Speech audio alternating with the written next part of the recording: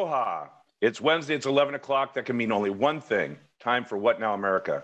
I'm Tim Apicella, your host, and today's title is Biden says Putin must go, then he did not. Uh, we've had some interesting declarative statements from President Joe Biden in the last week and a half, and two of them that come to mind is number one, that uh, Putin is a war criminal, and the other declarative statement was that uh, Putin must go, can't remain. And the question is were these unintentional comments that were off the cuff, or were they planted and, and were intended to be stated by the President of the United States about Putin? And we're going to talk about this and other things. And I, before we move on, I'd like to introduce our guests, Jay Fidell and Cynthia Lee Sinclair. Good morning. Morning. Morning. Jay, going to Biden's comments, um, and I'm glad he said that Putin's a war criminal. I know it doesn't help in negotiations down the line, but I'm glad he said it. I'm not sure it was the right thing to say about uh, Putin must go because Putin's going to use those words against him and certainly to the Russian people against him. What are your thoughts about the two comments that Joe Biden has made? And in your opinion, were they intentional or just off the cuff gaffes? First of all, there's no issue whatsoever that Putin is a war criminal. Correct. No issue. And in my opinion, I'll say it right here on Think Tech in public. He should, the Putin should go. Okay? So I think that's how uh, Joe Biden really feels. I think he was off script, but I think that's how he really feels, and it's how I feel, and I know you guys feel the same way. A lot of people feel the same way. Um, I suppose um, you know the argument you could have about that is it's not diplomatic. But uh, you know, I don't, I don't see that diplomacy really bears on this. Uh, Putin is killing a lot of people. Yeah, I would say war is not diplomatic. War is not diplomatic, and, and, what Putin is doing is war crime. It is, it is killing women and children, hospitals, schools, everything. He's destroying the country, and we should talk about that too. But bottom line is, it's a true statement, and the bottom line is, he should go. He's squashing what little democracy Russia had. He should go. Um, I know that um, you know uh, Putin will you know try to use that against him, but um, well, let's let's think, talk about think, in ways. One more point. Sure. I don't think the press should be complicit in attacking Biden about it. I think we have a leader. We have to follow the leader. He's the best leader we have. Let's not attack him over it. Let's go to the point that the Russians will use this. In what ways will the Russians use, particularly the one where he has to go? That statement. How will they use that against uh, Joe Biden? They'll attack Biden personally, but the fact is that they already do attack Biden personally. Uh, I suppose he, you know, he would love to assassinate Biden. Uh, he would love to bring, you know, America down. But you know what? He already wants to do that. That's his mo. So I, you know, it's like it's like this. I got to tell you the story. This, this is an alcove in the Holocaust Museum in Washington, and it's uh, an exchange of letters by the War Department um, and the rabbinical uh, organization um, in 1944. The rabbinical organization wrote to the War Department and said, Would you please bomb Auschwitz so they can't kill any more Jews in, in the ovens there? You know?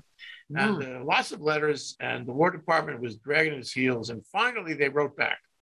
And the War Department said to the rabbis, it said, We're really reluctant to bomb Auschwitz because we think it would make, and I'm quoting, we think it would make Herr Hitler angry. Oh, he wasn't angry until then? He wasn't angry while he was destroying the Western world? This would make him angry? It's the same thing. You know, you can't bend over for, for a guy like Putin. He's a, he's a tyrant and he's already angry. It doesn't matter if he gets more angry or less angry, he's already a monster. So eh, I don't I don't see anything to to quibble about here to talk about if that's how Joe Biden feels, I'm with him. Good point, Jay. You knocked it out of the park. That was a great, uh, great point. Uh, reminds me of Churchill when uh, they were talking about negotiations with Hitler, and uh, Churchill said, I think he said, you know, how can you negotiate when your head's already in the mouth of the tiger? And um, yeah, who cares if he's angry? good point. Excellent point. Right. Cynthia, so how will Putin, in your mind, use the statement about his um, he has to go. Uh, well, he tried to parlay that into see we told you they're trying to do regime change here in russia and this is why i'm i'm, I'm defending the mother country uh, in ways do you imagine that putin will use uh, biden's biden's words I think it's exactly what you just said. He's, you know, already been claiming that one of the reasons they have to do this is because NATO has been encroaching, threateningly encroaching on Russian territory. So that's what he's going to say. But he's been lying from the beginning anyway. So, I mean, I'm with Jay. Why are we, and excuse my term, but why are we pussyfooting around with a man who is slaughtering civilians? Who cares if we make him mad? Why? Um, I, I agree also that the press has jumped on this thing to make Biden look so bad, like, oh, he's going to make such a mess of things by saying that, as if it's not already a mess, as if there's really any hope of Putin um, doing anything that he says or promises. The you know the corridors the humanitarian corridors he says we'll make them. They'll stay safe. Then he bombs them you know. He won't he says he won't bomb children and then he bombs you know schools and children's hospitals and orphanages. And so why in the world would anyone look at joe biden and think what he said was wrong? Um you know I don't understand how anyone could think that it will escalate things because how can you escalate any further? It's not like he's going to start going into Poland now. As it is, what he was doing was, you know, bombing right near Poland, you know what, for 250 miles away from where Biden was at the moment while he was there. And, and this is another thing that I don't think people take into context when they realized what he was saying. He had just spent a whole day, more than a day, I think two days there, right?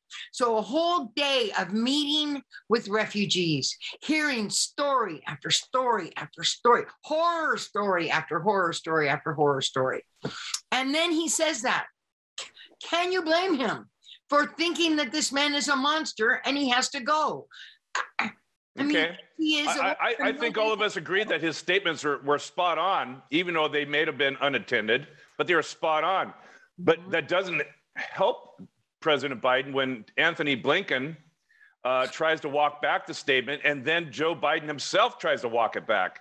Uh, Jay, to your opinion on that point. Yeah, I was sorry to see Blinken try to walk it back. It was true to start. It was a, a statement that Biden should have made. If that's the way he felt, let him say it.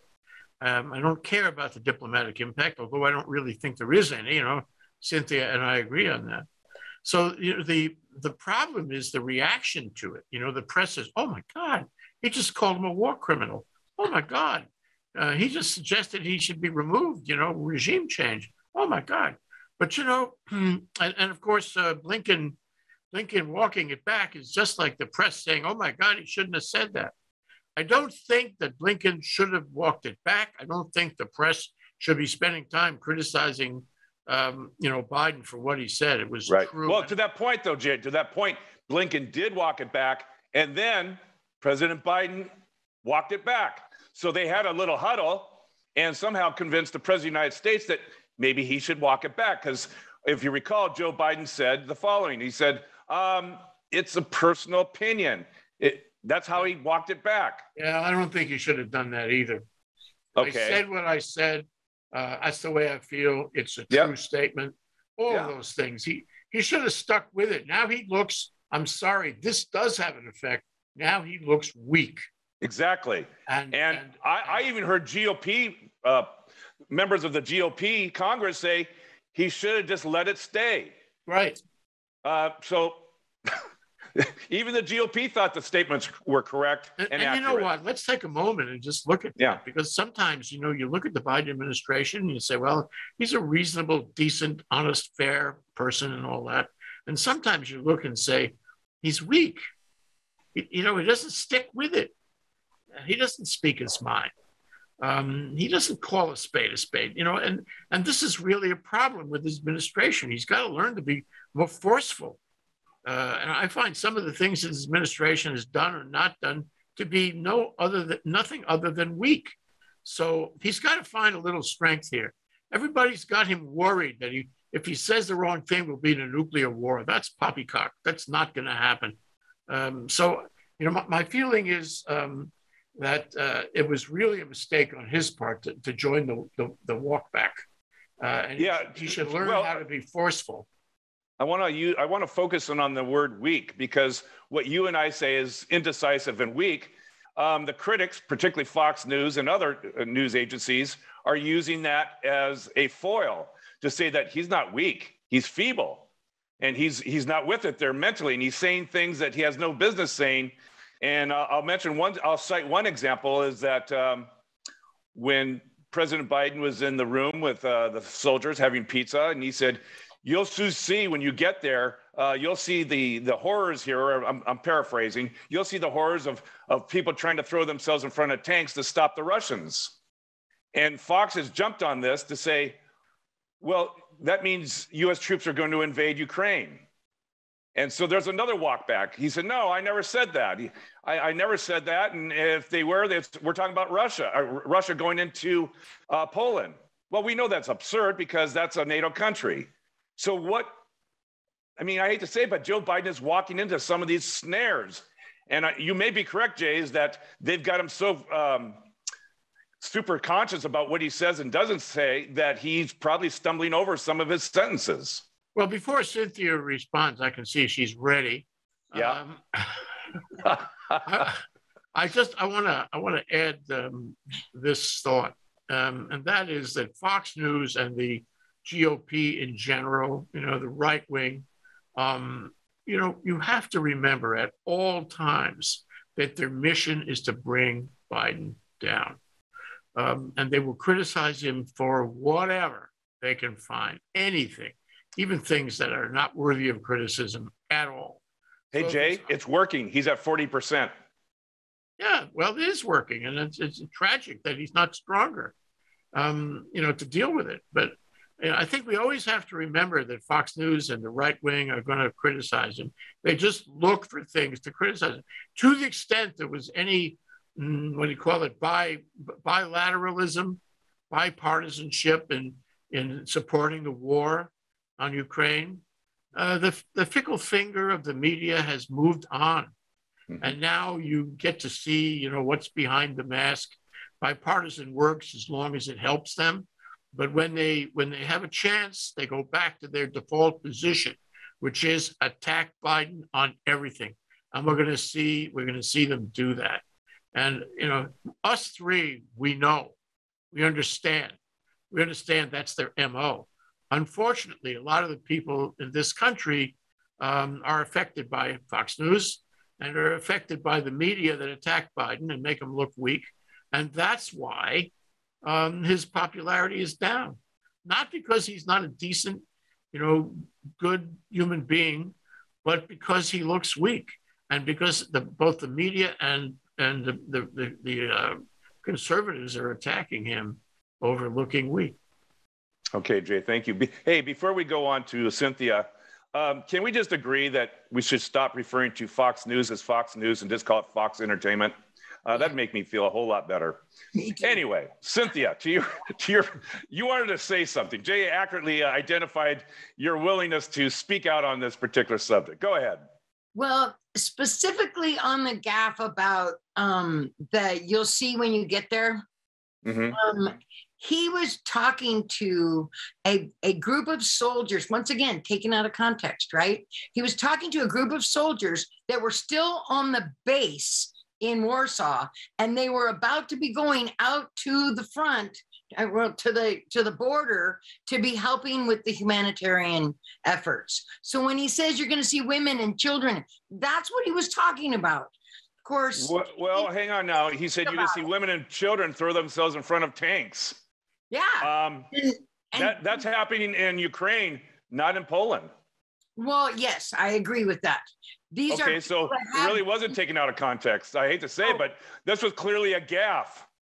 Well, no, but the, the, point is, if he's walking back things, sorry, I, I didn't want to. Go ahead. But if he's walking ahead. back things, Okay, everybody knows that's disingenuous. Oh, he's walking it back, which means A, um, he doesn't like what he said before, and B, he's really straining to distance himself. And so you get hit on two elements of credibility when you walk back. Correct. Everybody Why knows- walk it back then, Jay? Why is he walking it back? He shouldn't be. Don't ask me. Ask him. Well, who's giving He them the, the advice? Is it Blinken or who's giving them the advice to walk it back? Could be Ron Ron Klain, uh, one of his advisors, chief of staff in the White House.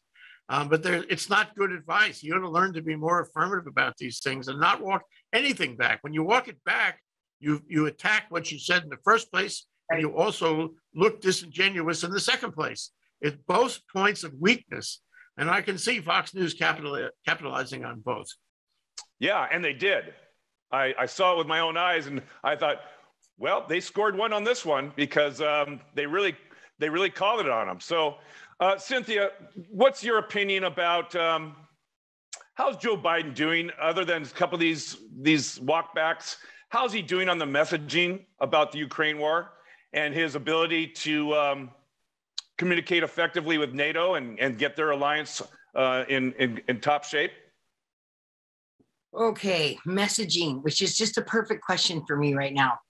I lose my mind when I listen to Anthony Blinken speak. I he's supposed to be a communication representative guy, right?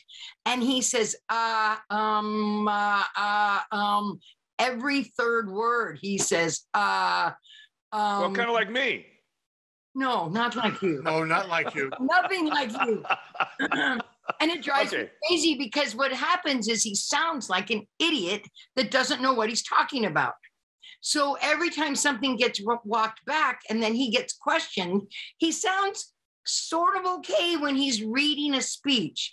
But as soon as he starts to talk to people, he sounds like he's lying and looking for something to say because he's going, uh, um, and you know, we, uh, um, we went over there and then we did uh, um um uh you know, it's like every five seconds and it it drives me crazy. So in messaging that i don't know why someone hasn't sat him down and made him practice to stop saying um if he has to slow down his speech if he has to do whatever he has to do to stop looking like an idiot and to stop sounding like he doesn't know what he's talking about or that he's lying and making stuff up as he goes because that's the way he comes across and i'm on their side and yet still it comes across that way to me so you can imagine how it comes across to other people too But Yeah. you want to you want to see passion.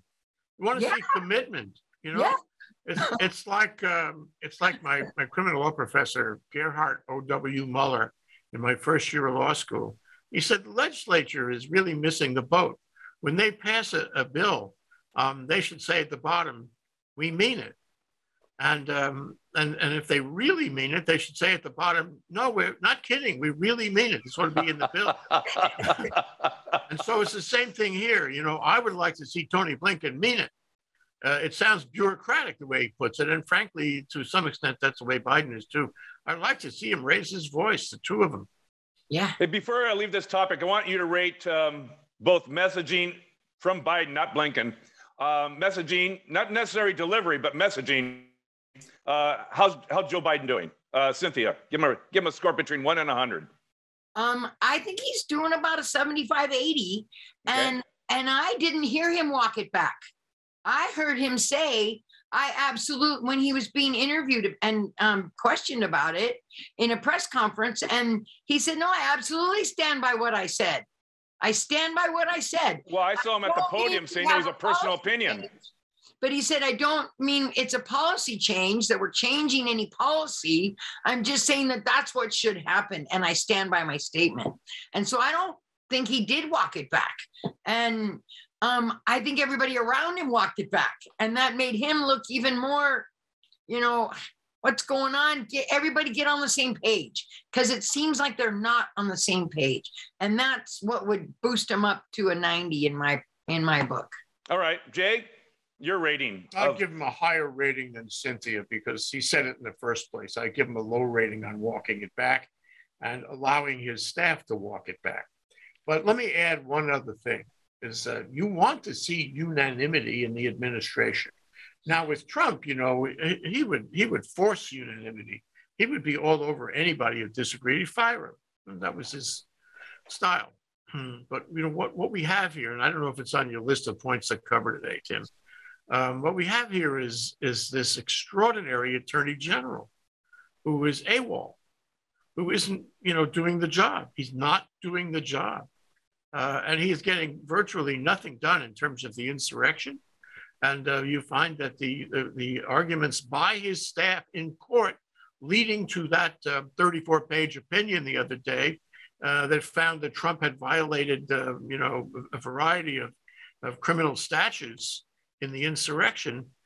Those guys were from the Department of Justice, Merrick Garland's department. And they had evidence enough to convince a judge of that so I don't understand why Merrick Garland can't do an investigation of it. He has the power, but he hasn't done anything. About as far as he got, which was what a month or two ago, is we're going to investigate this no matter where it leads. Well, you could fool me. In terms of messaging, okay, what you get is he's actually pulling the rug out from Biden, and he's not doing anything. And his messaging is um, it's the same thing we got from Bob Mueller, you know, in the Mueller report. It's, uh, you know, uh, it's like um, we'll hear about this later. We're, you know, involved in this very mysterious process. We can't tell you anything about it. And, um, and if you want to have confidence, um, don't look to us. And I think that's terrible. And I think it does reflect on Biden. And I think Biden should tell the man, get off your Ricoli and do something. Right. All right, that leads us to the next uh, topic here. And to you, Jay, uh, you know, Richard Nixon and his secretary, Rosemary Wood, they, they mysteriously lost 18 minutes of critical transcript, um, as you know. And that was the talk of the town. And it was more than just messaging, it was a lack of messaging, 18 minutes of it. Uh, we have a new report that uh, during January 6th, for a predominant part of the day, seven hours and 37 minutes, all phone logs from the White House are not available. They're not, they're missing. There's nothing. uh, that seems quite odd given the, the, the day. And they know that Donald Trump spoke to eight individuals in the morning and 12 people in the afternoon, yet there isn't a single phone record of it. What do we got going here, Jay? Is this another Rosemary Wood uh, doing the, the Rosemary Wood reach and incident- accidentally erasing 18 minutes? Or um, is this just um, they weren't using the phones at all? They were using other phones. They were using perhaps uh, potentially burner phones or or other phones from other people. What, what, what do we have going on here? Wow. Will everybody who is surprised by this revelation please fall off your chair right now? I don't see anybody falling off his or her chair, do I? Um, so uh, you're gonna you're gonna try to tell me in a minute that it is entirely possible uh, that Donald Trump is lying about the uh, about the. Uh, okay, well let's go to our friend Merrick Garland, the Attorney General of the United States. Surely this will catch his attention. It's well, it's a dark hole. What are you going to do about the 18 minutes? You know, don't have well, it. That's Nixon, but I'm talking about the seven hours and 37 minutes. What are you going to do about it? You don't have it. You, you can't make it up uh, it strikes me that he was destroying records. Well, isn't that, that against that, the law to, to, destroy evidence and certainly the Presidential uh, Records Act and you know a, a number of things. Uh, you know, we could also tag team on all the stuff that he's he hauled off to Mar-a-Lago um, that belonged in the archives. Yep. Have you heard a peep from Merrick about that? Not a peep. No. And I mean, and that's an open and shut slam dunk. There's lots of open and shut slam dunks, including the, as I said before, you know, the evidence that was submitted to that judge who wrote the 34 page opinion finding that Trump had violated criminal law in a number of ways. So what I'm saying is, and I think we agree, is that um, this this should be, could be uh, handled, investigated, prosecuted. He can call a grand jury. He can he can start it up it's going to take a long time anyway. There'll be a lot of, as you know, a lot of machinations that Trump will interpose to try to stop him. But he's not doing anything, as far as I can see. So yes, um, there's the, the, eight hours of, of, uh, of phone logs are gone. They're probably not coming back, but it's clear that Trump has violated the law yet again. And it's up to our Department of Justice to make a case out of that. And regrettably, they're not. And this has, let me go one step further. This has a huge effect on the country because both sides of the aisle can and are saying these guys are ineffective. They, they can't tie their own shoelaces. This is obvious mm. violations of law here, and they haven't done anything. They've done the small potatoes, you know, the guys who were in the insurrection, and they gave them misdemeanor charges and, and put them on probation or something. Peanuts, peanuts. They haven't gone any higher than that. And it's been 16 months now. Um, we haven't heard a word peep. And all these other things are coming out. They're coming out. The, the newspaper reporters are doing um, Merrick Garland's investigation for him. They're handing him the stuff on a platter, and he's doing nothing. so I, I, think we have a real problem. As I said before, Biden to, you know, take the bull by the horns and say, Merrick, you've got to do something. Get down, get get your get your body down in my office now.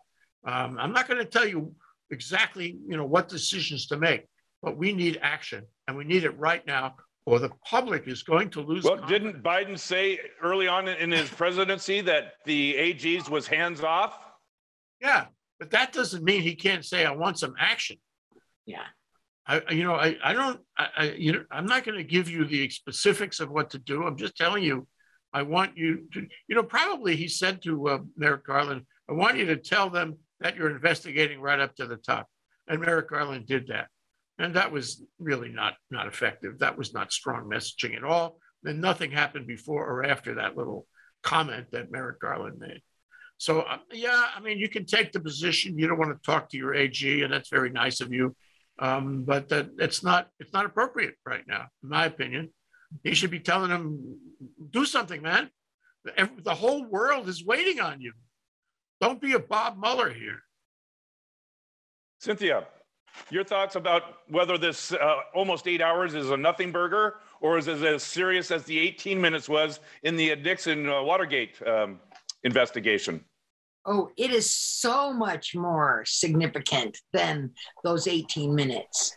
Um, and hopefully they're going to be able to backfill with other people because they've got the phone records of the people that he talked to.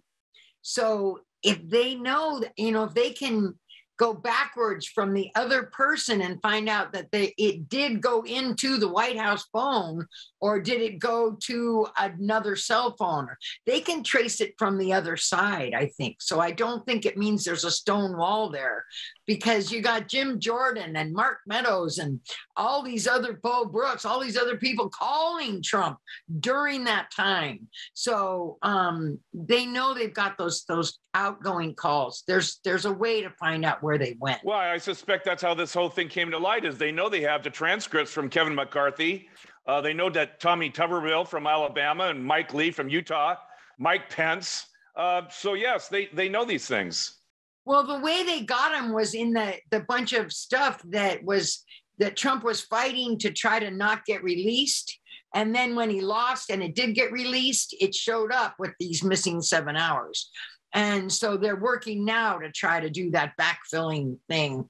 Um, at least that's what uh, Adam Schiff was saying in an interview last night.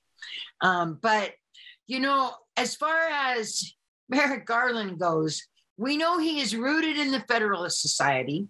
He is Mr. Conservative. Conservatives move slowly. He's also an academic.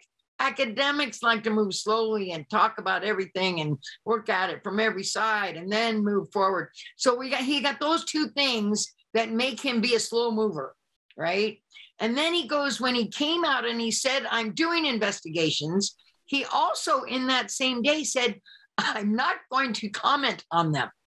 So he's already made it clear he's not going to tell us anything about what's going on. Now, is he using that as cover to not really do anything? Or is he really doing stuff, and you know, behind the scenes?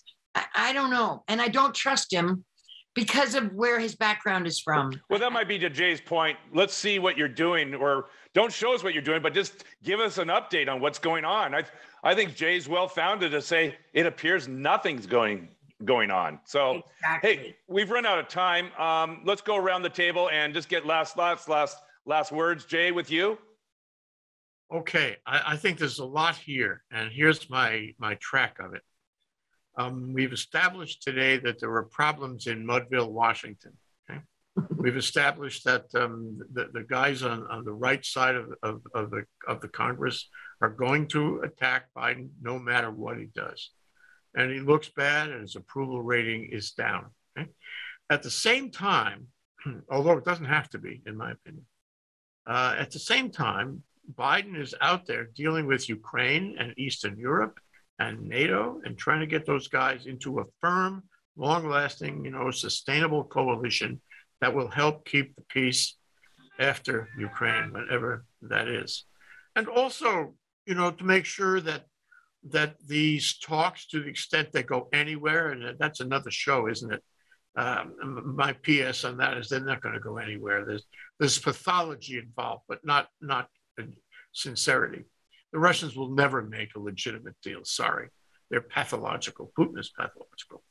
But anyway, so you, you have these very difficult issues in Europe and in Istanbul, and he's got to be strong for that. He's got to be strong to hold the coalition together, uh, to hold NATO together, to have them actually mm, make you know believable threats to uh, Russia, um, you know, to to to to face down Putin in every way possible, to uh, continue the sanctions, make more sanctions, um, and and to have and to insist on a any settlement process uh, that it should be legitimate and not and not you know just manipulative.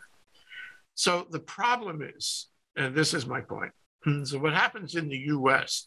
to undermine Biden's reputation, his popularity, uh, what happens with Biden when he doesn't do strong things when he walks things back, undermines what he's doing in Europe with NATO and the, U, the, EU and with the people in Ukraine and so forth. And when, uh, the picture is beginning to draw now as we see this go forward over a month now. He, he can only go so far. He's only willing to go so far, and he only has so much clout with the Europeans. and what I worry about is that if he has a hard time in the 2024 election, or for that matter, if the Democrats have a hard time in the 2022 election coming up in six months, that further pulls the rug out from under Biden. He's less uh, influential in Europe and the world.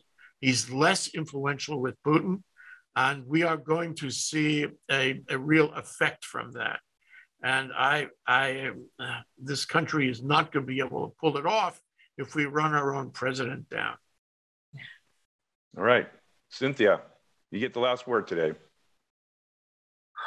Okay. My biggest fear right now, because Merrick Garland has been just dragging his feet, that it's going to get too close to the 22 election. And so he's going to say, I can't do anything right now because it's too close to the 22 election. Right? Like we've seen in the past when they don't, they say, well, we're not going to do something because it's too close to the election. But then hopefully somebody will remind him of what James Comey did to Hillary Clinton eight days before the election. So, you know, but that's what the Republicans like to do. They like to say, "Oh, it's too close to you know to the election," and they don't want that information to come out. So I'm afraid that the Republicans are going to start crying for, "Oh, it's too close," you know, too close, too close, and Merrick Garland will go, "Okay," and he'll, you know, back off and then all of these important things that need to come out, the truth of what happened on January 6th won't come out at all because once, if they don't, if the American people don't get to see it before the 22 election and the and the Republicans take over, nobody's going to see anything. And that's what scares me the most. Excellent point, Cynthia. Yeah, that's an excellent is. point. Yeah, that's why maybe the select committee needs to publish their, their findings by no later than mid-May. I agree. Okay, we have run out of time. I want to thank Jay Fidell, Cynthia Lee Sinclair for joining us on What Now America. Please join us next Wednesday at 11 o'clock. And until then, I'm Tim Apicella, your host, and we hope to see you.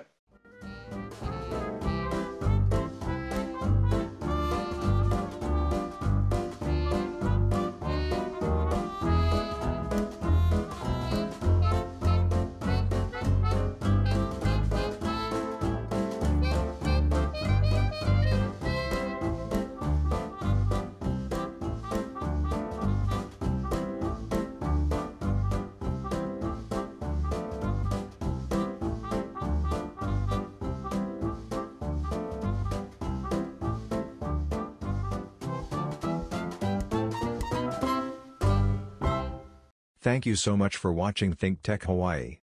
If you like what we do, please like us and click the subscribe button on YouTube and the follow button on Vimeo. You can also follow us on Facebook, Instagram, Twitter, and LinkedIn, and donate to us at thinktechhawaii.com. Mahalo.